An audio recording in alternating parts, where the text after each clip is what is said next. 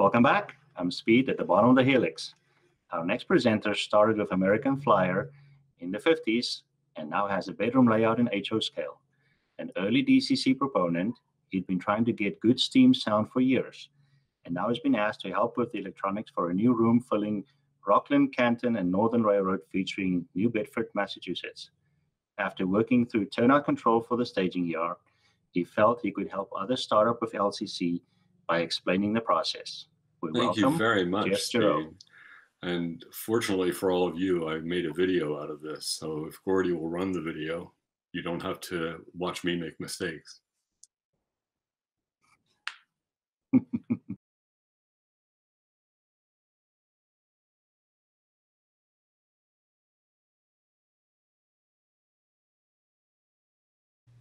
Jerry McDonald is making an HO layout of New Bedford, Massachusetts in 1954, in a room he built for it, conveniently above his new garage.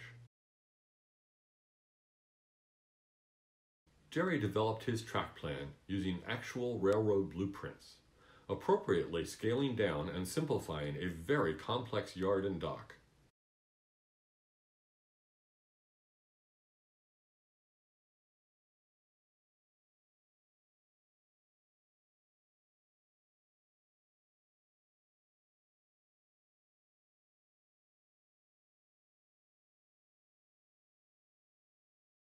The track extends from the Acushnet River at New Bedford to the Canton Viaduct and on to Boston and Nashua in staging. Jerry asked me to help with the electricity for his layout. He had finished the room and completed the first island of benchwork. Next, he installed the first track, which will become, ultimately, underground staging. There are four parallel tracks on each side, leading to a single track connection at each end.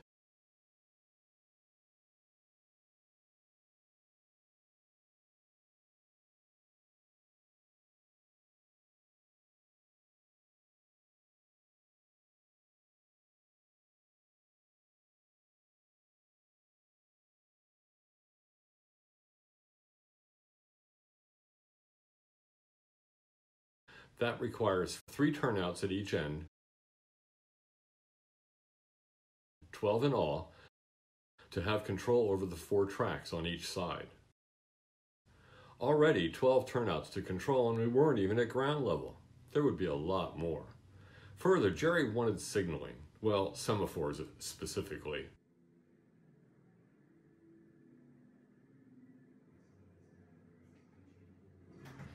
And the option for dispatcher control. And it would be big. This is the first of three long peninsulas. Before I discuss controlling them, I'd like to talk a bit about Tortoise by Circuitron switch machines. A wonderful invention, now challenged by several imitators, including now servo motors. I am not going to discuss these options, as luckily for me, Jerry had already brought a lot of tortoises, you know how we model railroaders accumulate what we need over years and hopefully have it when we actually need it. So that was what we were going to use. Of course, before Tortoise, there were twin coil solenoid switch machines. I remember control with these Atlas slide switch push buttons. Slide to one side and push, the turnout goes to that side, slide to the other and push, and it's back. Easy to use, and there are even ways to matrix them for a staging yard like this. But solenoids have their own problems, especially the high current required, so the gentle tortoise was a boon, but not easily controlled with a push button. Tortoises are controlled by switching DC voltage polarity on the two outside connections of the edge connector. Plus on one side pushes it one way, reversing the plus and minus and it goes back the other way. It is intended that the current stay connected when thrown to keep pressure on the points. So that means we can't just have a push button control it, at least not directly. To manually control it, we would need a toggle switch wired to reverse the polarity when toggled, or a similarly wired relay, which would then allow push button or contact closure control. Now why do I say contact closure rather than just push button, since where we most often have a contact closure is when we push a button we're going to see that there are more ways to make a contact closure than just a button, and a lot more things we can do with it. But it is good to remember that push button. Generally, a push button connects to ground when pressed, or when the internal contacts are closed. Connecting the wire to ground sends that ground signal back down the wire to the receiving device, whatever it may be. How does the device see the ground? Well, inputs generally have a pull-up resistor connected to the plus voltage and monitored. If there's no connection on the input, the input sees that plus voltage, or a high, with a small current through the pull-up resistor, and waits. The moment someone presses that button, the contact closes and the wire now connects to ground through much less resistance, the wire, than the pull-up resistor. The input now sees the low and tells the device that the input has been activated. I did consider many options for controlling the tortoises. For example, these circuits from Rob Paisley especially here in the staging yard, which would not necessarily be controlled by a dispatcher, but would need some way of choosing the proper four tortoises to activate a track. Jerry wanted local push-button control panels on each side to control track choice, so whatever we used also had to allow local button input. There are, of course, stationary DCC decoders which allow control from the DCC cab. Some of them also include the option for adding local contact closures or buttons for turnout and or route control, in addition to DCC control. However, Jerry did not want to have to use the handheld to control turnouts.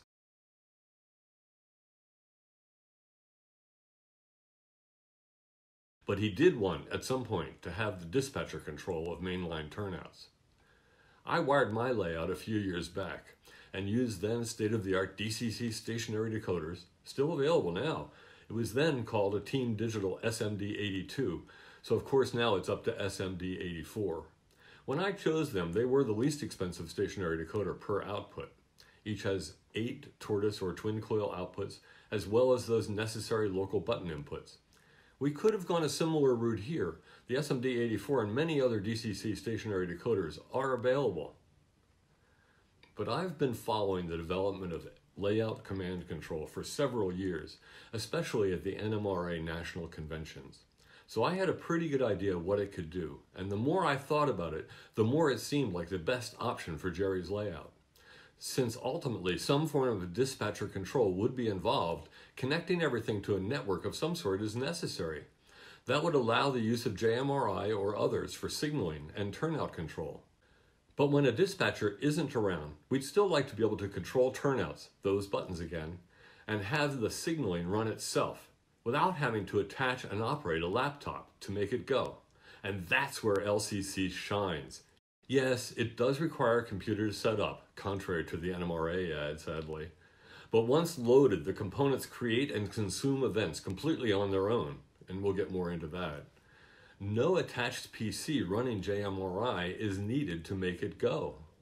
And even though we're only talking about turnout control here, LCC already is being used for all the rest of this and more every day. That last item, repeaters, means that there is no limit to the number of nodes on a network, as networks can be linked. I wanted to see if the various tortoise control options were similar in cost, so I gathered some pricing information. First are the DCC stationary decoders. This is by no means a complete list, but a good representative sample. At the top is the Team Digital SMD84 that I mentioned, still the best deal per tortoise, and it includes button connections. Next down is the DCC Specialties Wabbit, a dual Hare, which also allows button connections, a bit more per tortoise. Then there's the NCE Switch 8, their 8 output stall motor stationary decoder, which is less expensive per tortoise until you add those buttons. Finally, the RR-CirKits LCC option with a tower LCC and a stall motor driver board, SMD8, to allow buttons and 8 tortoises, is in the same cost ballpark. All of the options are within a few dollars per tortoise, so really the cost is not a factor to keep you from choosing LCC. LCC's network is based on the CAN bus that was invented by Bosch for automotive components to talk to each other. It is a very robust network designed to function well in a moving vehicle with lots of interference. It is similar to Ethernet, And LCC can run on Ethernet and many other connection topologies as well. But CAN is even more robust, including some very neat data hierarchy to protect from noise and erroneous data. And it's a network, a series of independent nodes connected with RJ45 plain old Ethernet cables, available almost everywhere these days. I was also surprised to find that the CAN bus was not the only bus in our cars.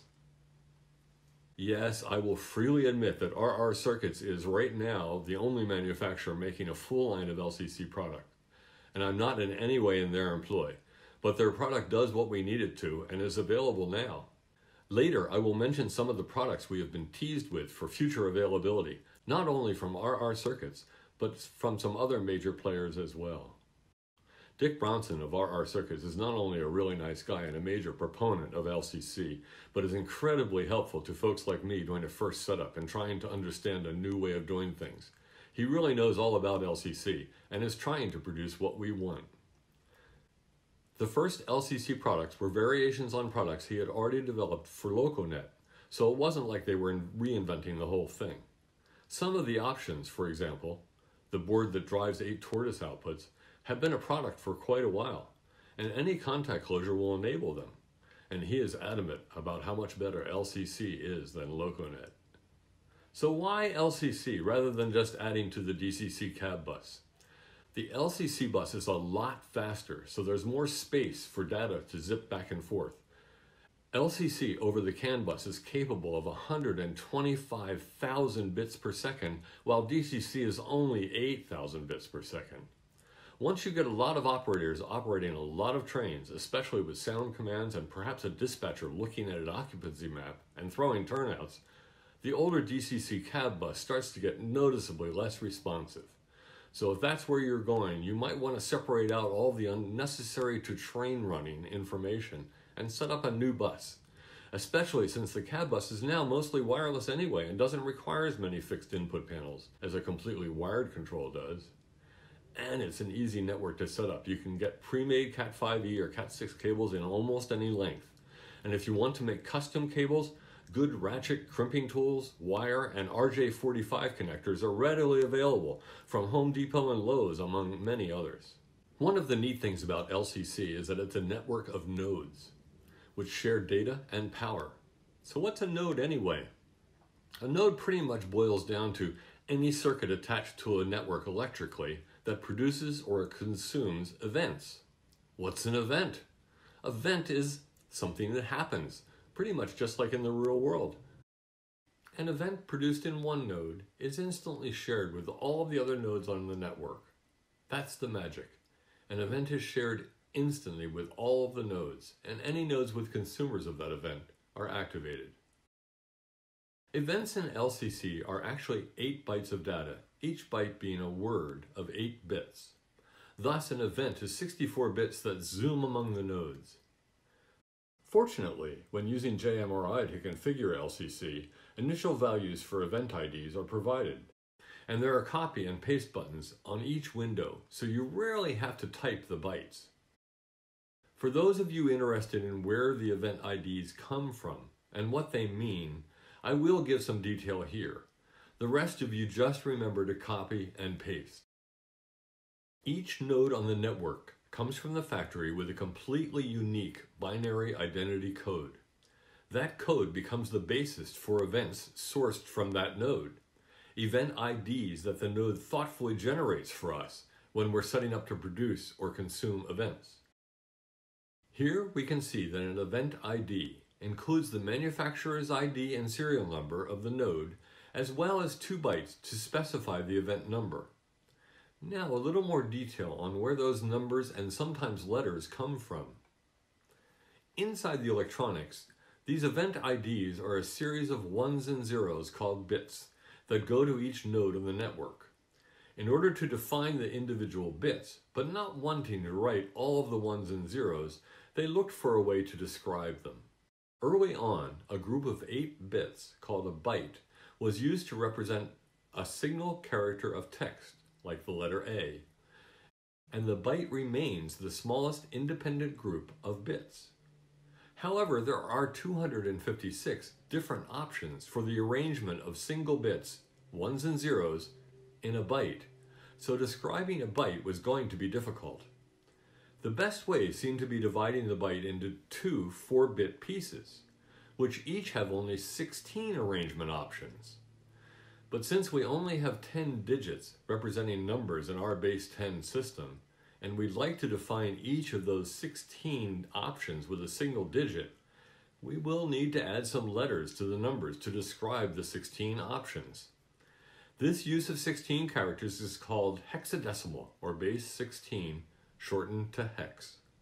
In this chart, you can see the actual bit arrangement of the 16 options for each hexadecimal digit and thus why you sometimes see letters when the event IDs are written down.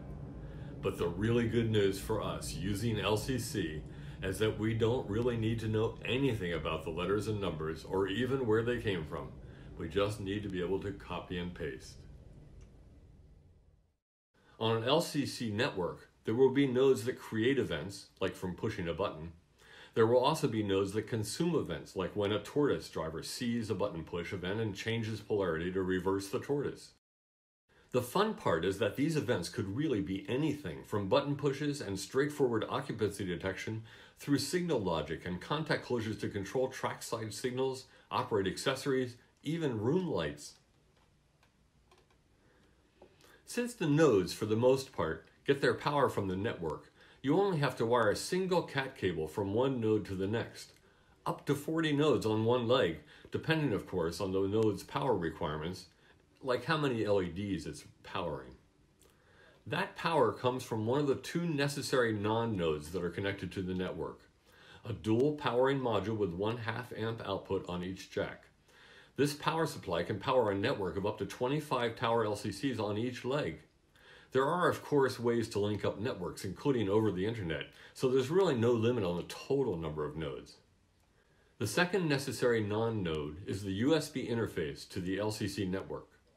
While the PC attached through this USB interface, running JMRI or other LCC programs, is a node, the interface itself is not. It can't produce or consume events.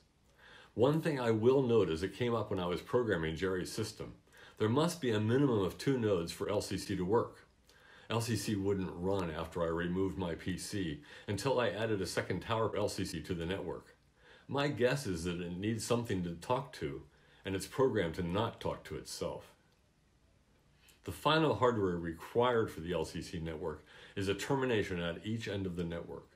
These properly terminate the network and reduce noise in the data. The RR circuit ones have LEDs that show power and data connections are active. At this point, I was able to make a general wiring diagram for Jerry's layout, showing typical tortoise wiring as well as a typical button, including the tables with pin number connections from RR-CirKits. On the left is the LCC network wiring. The left input-output 10-pin jack on the tower LCC IO number one, is the one I'm using for the button input. The left table shows that 10 pin physically, so you know which input connects to which pin. All the buttons share the ground pin. The right input-output 10 pin, IO number 2, has the stall motor driver board attached with a provided ribbon cable from RR-CirKits. The stall motor driver board has two 10-pin jacks for output to the eight tortoises. The table below shows the output pin numbers, and below that a layout of the pins. Two connections, identified as plus or minus, are connected to drive each tortoise, with a tortoise typical wiring shown. The tortoise also has two relays built in. We're using one to feed appropriate power to the switch's frog, and the other to feed an LED, or in the case of our staging yard, to feed a sequence of tortoise relays to ultimately light a completed route LED.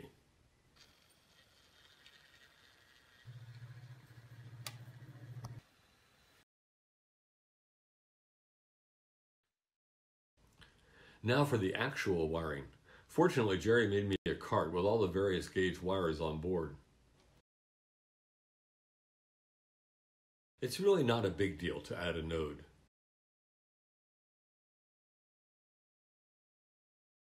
Unplug the termination, add the cat cable for the new node, plug in the new node, and terminate the other jack. Done. The terminator, remember, includes LEDs to show the power and the data. Let's look at the intended layout and how each track is made active. At each end of the four track yard are three turnouts. The first chooses the front or rear two tracks, and the next two switch the individual track. So to access any specific track requires controlling two turnouts at each end, so four turnouts for each track.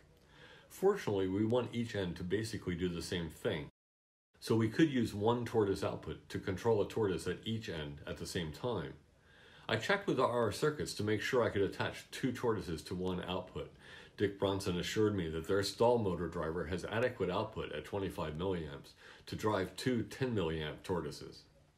Now that I knew how they were going to be wired, I needed to determine what events needed to be created to operate them. First, some definitions, so what I create will be consistent and easy to understand later when repair or changes are required. So looking at the upper entrance to staging, I named the turnouts on this diagram. Switches A100 to 105 on the A side and B200 to 205 on the B side, and note each turnout state. A turnout is normal when the straightest route is chosen and thrown when the diverging route is chosen. And yes, what is actually normal can be finally determined when physically attaching the two power wires to the tortoise. And if thrown command makes it normal, reversing those wires fixes it. I then created a spreadsheet with the states that I needed for this tower LCC. I like having all the necessary information in one place if possible, and this is for someone else, so documentation is somewhat more important. And again, there will be many more of everything, so starting organized bodes well for the future. When I created this, the event ID column was empty. I filled it in to keep a record after I used the event IDs provided by the software. The producers, in this case push buttons, are on the left, connecting through the event IDs that they produce in the center to consumers, in this case tortoises, on the right. Just like when configuring the node, I filled out the consumers, each turnout pair, and the activated states, normal and thrown, first. Then I could look at each track and its button and figure out which turnout needed to be normal or thrown and fill in the appropriate producer X's. When that button was pushed, the node would then produce the proper event IDs. Let's look at the first push button on the remote control panel called A1, which chooses the main line or outside track, conveniently also called A1. In order to access that track, both switch A100 and A101 have to be normal. And of course, their counterparts at the other end of the yard, A105 and A104, but they're wired together so they appear together here. Looking down the producer's push button A1 column, at the far left you can see two X's. If you follow the row for each of those X's to the right, you'll first see the event ID that they produce, followed by the action the tortoise will perform consuming those events.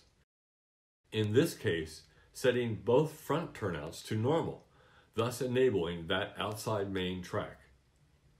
The next track in from the main, A2, is chosen by the next push button producer, A2.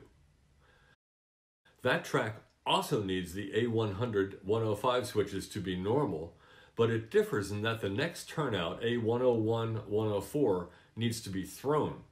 So the X moves down to produce the appropriate event ID to throw that turnout. By filling in all the appropriate X's for all the rest of the buttons, I know which event IDs to copy and paste in each button's producer events. So I'm ready to configure that node. The node that's available now and makes this all happen is the RR-CirKits Tower LCC. This node's 16 lines can be set up as either input or output lines on a line-by-line -line basis. There are two I.O. jacks available on the Tower LCC. Each one is a 10-pin jack allowing for 8 I.O. connections and power and ground. So a single tower LCC can process a total of 16 lines made up of a combination of contact closure inputs and contact closure outputs. There are several accessory boards that can connect to the tower LCC's I.O. jacks, the servo switch machine controller we're using, as well as a solenoid switch machine driver, a relay board, several different signal driver boards, 4-aspect and searchlight versions, and occupancy detectors capable of remote sensing. Each of these uses one of the 10-pin I.O. connectors and therefore 8 inputs or outputs. These I.O. connectors can also be connected to ribbon cable through inexpensive crimp-on connectors for real-world connections like buttons or lamps. If you use rainbow ribbon cable, you can easily tell which wire is which and get the right one on the right button. Otherwise, the first wire is identified and you have to count. RR-CirKits has a wonderful breakout board converting the 10-pin header to screw terminals. Best $6 investment you can make. On Jerry's layout, a button will be used to choose each of the eight tracks available, so eight button inputs are needed on the Tower LCC. We will be using the first 10-pin I.O. jack to connect buttons, and the second one will be used to attach the stall motor driver board. The buttons get ground from the 10 pin and when activated connect that ground to one of the input pins. And again, these inputs are held high internally looking for that push button connecting the ground to indicate on. The button panel for each side includes four red buttons to choose tracks with LEDs adjacent to show which track is active. The shiny toggle switches kill power to the non-mainline tracks. Outside track is main. There is also a big red button and a blue LED connected to a Volt scooter circuit breaker for the staging tracks. So a mistake placing an engine on staging tracks doesn't take down the whole layout. Unfortunately, the instructions said that we needed a button to break the circuit to reset it, but it turns out that the breaker resets adequately without a button, so we probably won't need these buttons anymore. On the back you can see the heavy wires for track power passing through the Volt scooter and the toggles. The LEDs come with red and green wires attached. The buttons have common ground on one side and a separate connection on the other. Ribbon cables connect the tower LCC to the stall motor driver board and then to a breakout board to make the actual tortoise connections. RR-CirKits also makes a wonderful I.O. test board, a most helpful device. It has buttons and LEDs for each line, showing output and allowing input on each line. A most useful $8 device. With it, you can test inputs by pressing a button, that contact closure again, and view outputs with LEDs, as well as an LED that flashes to show that an event has occurred. It allows you to test the programming, create an input push button, see an output LED lights to see that your events are occurring properly, even before you actually attach the tortoises. Here's an example of the complete staging wiring, showing the red and black track wiring, including toggle switch track shutoffs. The tower LCC is shown wired, including buttons and tortoise connections. The panel LED wiring is included, passing through the tortoise's internal relays. I prefer this way of lighting the LEDs because it confirms that you actually have the, the tortoises in the right position. Otherwise, it also uses a, a logic line and I'd just as soon not pay for that. The other relay contacts route frog power.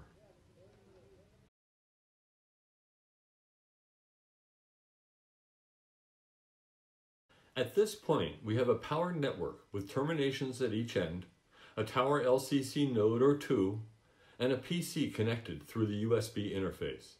The hardware is in place, so now we can configure it to produce and consume events.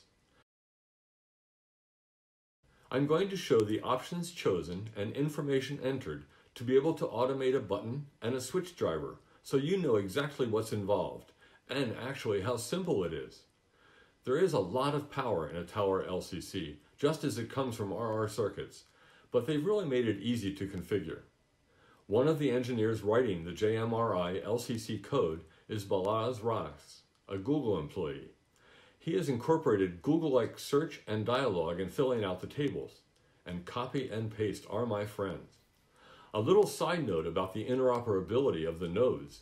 I have seen Balazs pull out a node that wasn't communicating properly and quickly program, in fact an RR-CirKits replacement, literally in moments during a clinic at an NMRA National.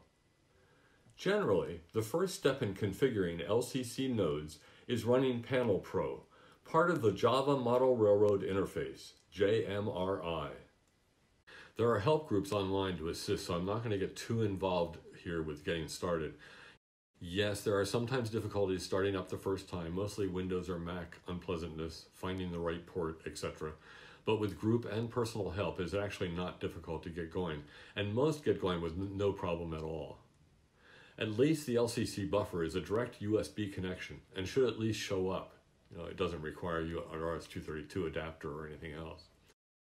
When I've had trouble reattaching to the LCC network, I've been directed to Panel Pro preferences to make sure that the connections are correct using the USB buffer. And under defaults, you will need to have Open OpenLCB connect to the throttles by clicking that circle.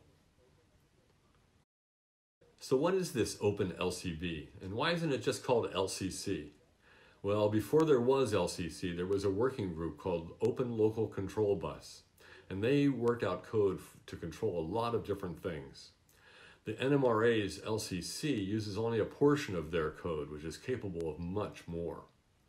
Click on the Open LCB tab on the Panel Pro page, and there are several options, including a traffic monitor that creates a list of all events as they occur but we'd like to look at the nodes, so click Configure the Nodes. I have already configured these nodes, so they will already be filled. A pop-up with the Open LCB network tree opens up, and we can see the two tower LCC nodes that I've already named. We're going to look at staging A. So after clicking on that, we can see a lot of information about that node. We want to open configuration dialog, so here are the five pages of screenshots that make up the entire configuration dialog. There's a lot of power here, and I'm sure I'll learn a lot more about what it can do as I enter the signaling world, but fortunately for right now, the basic configuring of buttons and tortoises happens at the very top, so we'll start there and for now ignore the incredible capability of the rest. The first blanks that are filled in are the node name and description, these are to help you find a specific node and they appear on the network tree, so choose well. We're going to cover this in the order that makes the most sense. Load the consumers, tortoises, and then cut and paste the producers, buttons. So for Jerry's system, the consumers are attached to I.O. number 2, and thus have lines from 9 to 16. Here we'll look at line 9, which configures switch A100 and A105, the first switch is coming into the A yard from either end. We got to line 9 by sliding the select line input-output line until line 9 is highlighted. Directly below is the I.O. line description, which as you see also appears in the line tab above. This is a consumer and does generate an output function, so steady active high is chosen to cause the tortoise to go to a position and stay there. This line is not a producer, so the input function is disabled. Next, we'll move down the page to the commands section.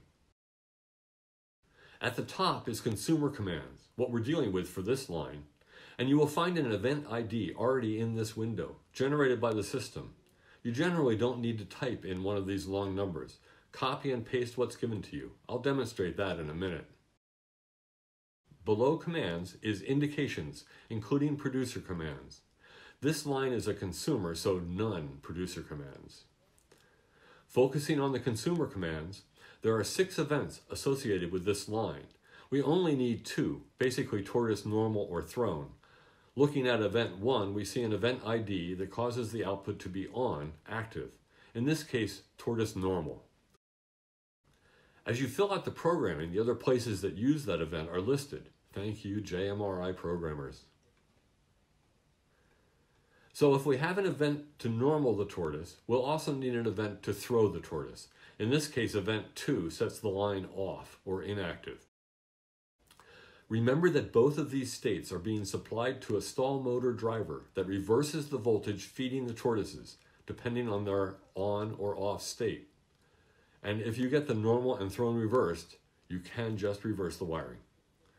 We only need two events for a tortoise, so event 3 is none, even though it has a unique event ID. We'll go back to event 1 to demonstrate copying an event ID. I have clicked copy here, and the display responded with copied. Now I go to event 3 to paste the event ID, and it appears orange to tell me that it's on the display but not loaded into the node. So you must push right to load it into the node, and the window will change to white. Now that we have a consumer, let's configure a producer button. Select Input Output Line 1 and describe it. In this case, choose Staging A1 Main. Note that there is no output function, and the input function has been chosen to be active low. Remember our button push contact closure makes ground when pushed, so active low. It's normally at plus voltage, so inactive high. Now we'll go down to the commands section. Again, not a consumer, so none. On the producer commands section, I have chosen input on as the action, the button being pressed, and I have pasted the event ID that we just defined for the A100 105 Tortoises consumer into event 1. In order to make the outside track active requires the A101, A104 tortoises to be set normal, so the button must also send an event ID for that, loaded into event 2.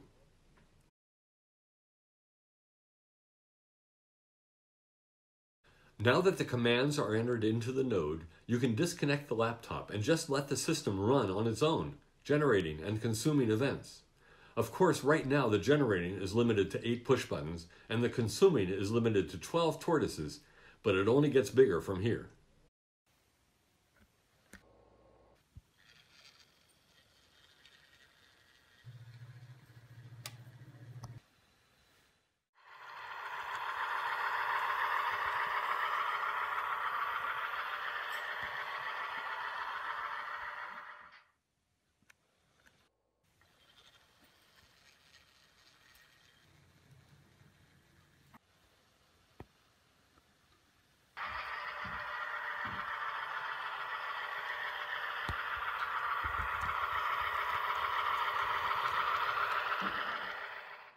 I did mention the future, and here that involves semaphore signals.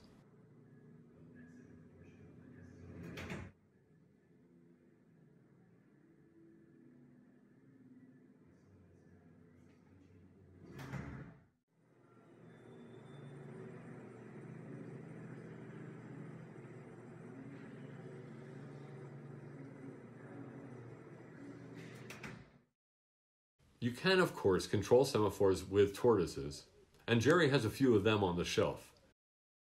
Controlling tortoises for semaphores would be much like controlling them for turnout control. But wouldn't this be a perfect place to use servos? With servos, you can control both speed and final angle, both really useful in replicating a semaphore's action. Here's my Uno test picture from NMRA's National in Orlando, where I learned how to program servos with Arduino. So that's one way, and I know that many are using Arduinos and the like for extending LCC. Also, Tam Valley Depot does have a servo controller that could be used driven by a Tower LCC or a Signal LCC. But even better, I found out from Dick Bronson that RR-CirKits has a brand new servo board. In fact, here's a, a view of the circuit board, so it's really a near product. He also mentioned RR-CirKits is developing a tortoise driver to mount right on the tortoise and use the 10 pin cable to interconnect. You can choose which pin controls that tortoise. Another very exciting thing for those of us with Digitrax systems, there is an LCC LocoNet gateway. Speaking of LCC gateways, there has been much excitement about Train Control Systems' new, almost released, command station, which includes an LCC node especially when combined with their now released Wi-Fi throttle. You can rename LCC consumers from the throttle and directly control turnouts, etc.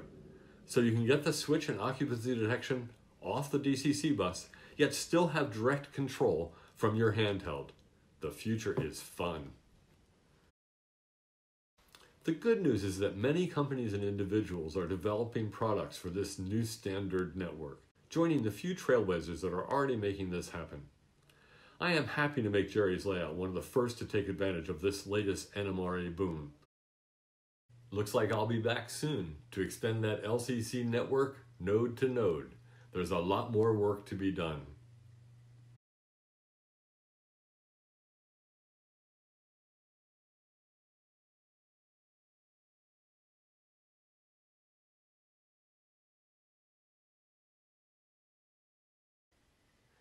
Now I'd like to show you some of the progress that Jerry has made since most of these slides were shot over a year ago.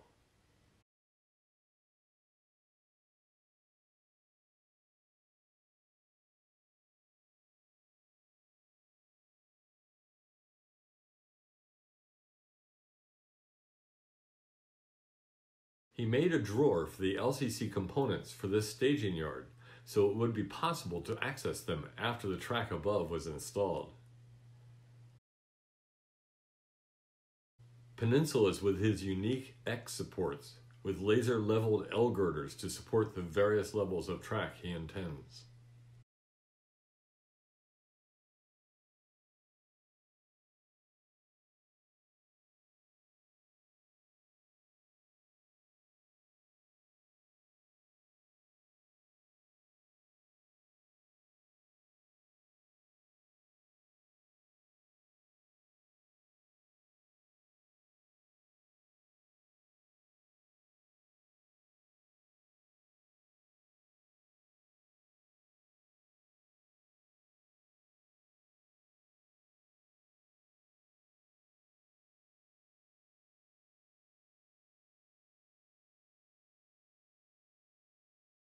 The beautiful spline roadbed, including easements into nice wide radius curves.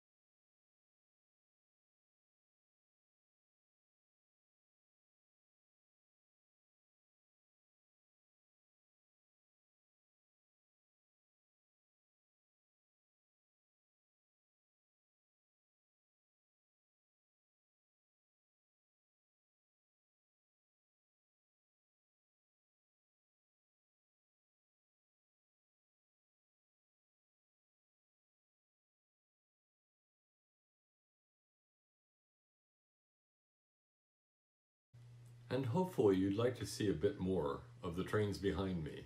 So here are some shots of my layout.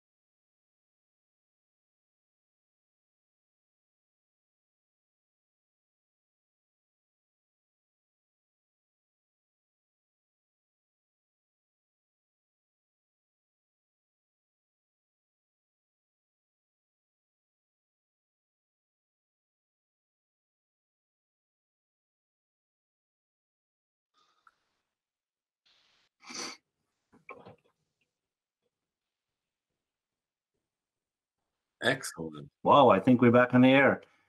Jeff, uh, someone nominated you to become the voice of Well, LCC. that's very nice, very kind.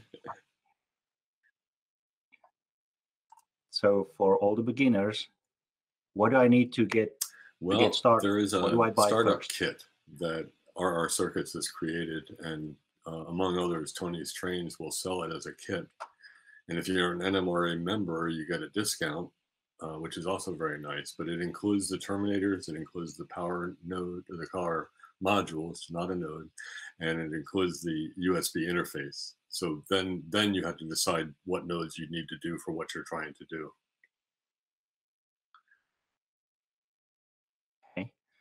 Um, do I need to actually know No. binary and hexadecimal? No, thank like goodness the no. like to use Um, LTC? I, I showed that purposely in there so that I, because I constantly get questions like, why is there an A in that? And what does that mean?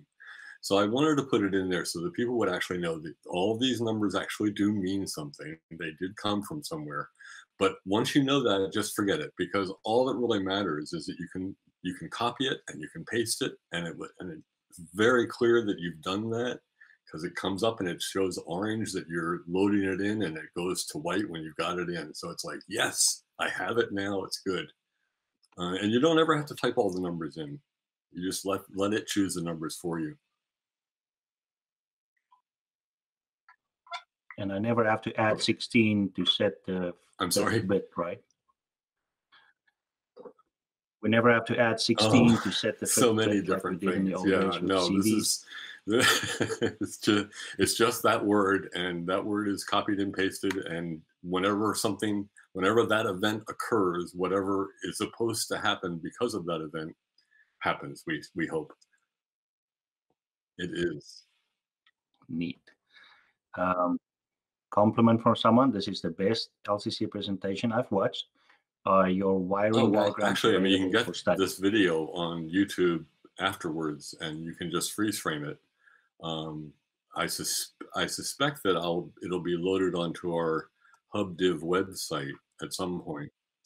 So right now, Mhm. you would you know just get it from the YouTube replay, uh, but keep keep watch. I'm in the Hub division of the NMRA, and um, the website already has a, an earlier version, a written copy of the, an earlier version of this clinic. Um, this has been much updated, so I'll be I'll be updating the word the worded one as well. Cool.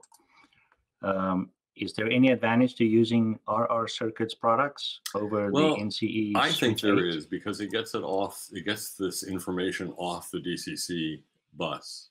Now, if you have a tiny layout um, like the one behind me, uh, and you're on it, like my layout does have 50 turnouts, so it's not you know it's like super tiny, but um, there's not a lot of traffic on that. It's not a big deal.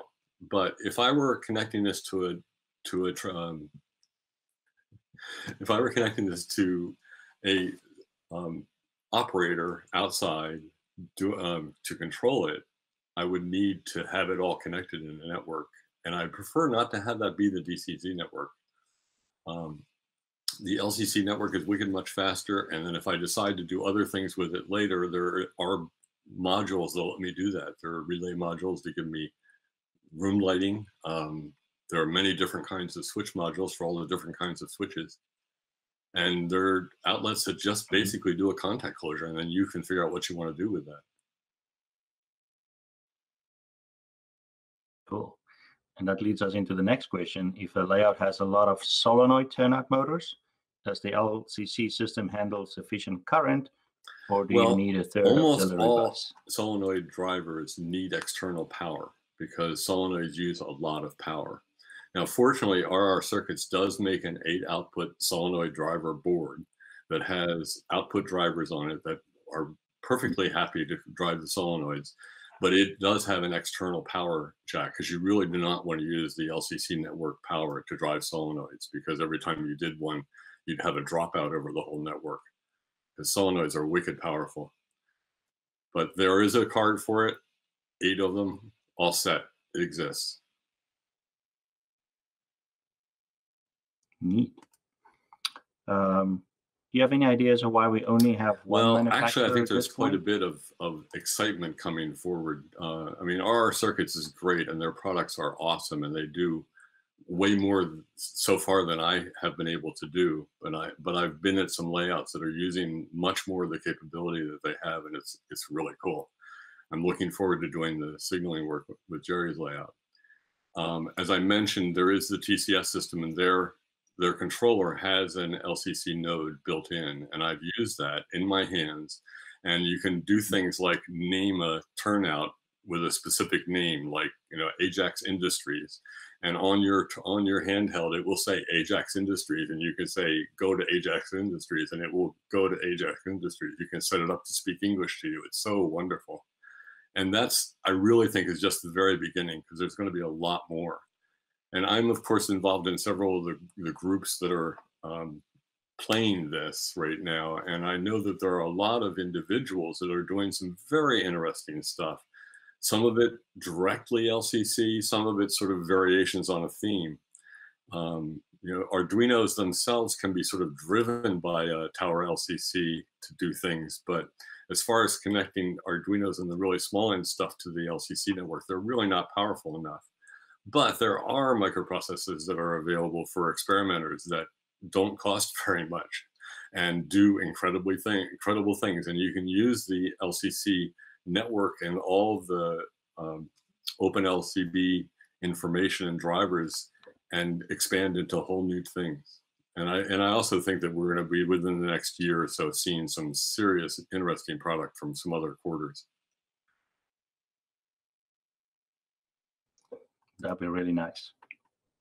Um, someone asked, "Can I do a I hope wigwag so. with I mean, LCC?" really, almost any of the um, effect things like a, a, a, a crossing gate coming down or a wigwag is basically sort of an on or off thing. You have to create a, a motor to do what you want it to do. So you would create a wig, wigwag symbol that wigwags, and you could turn it on and turn it off with LCC with LCC events.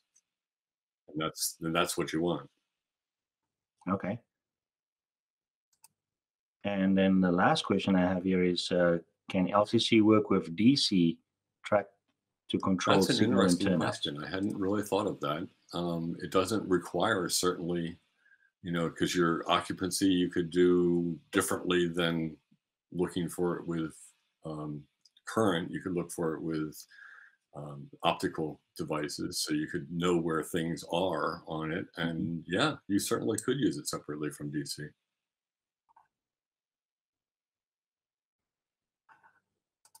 Cool. Let me just quickly check if there's something on Facebook um, and YouTube.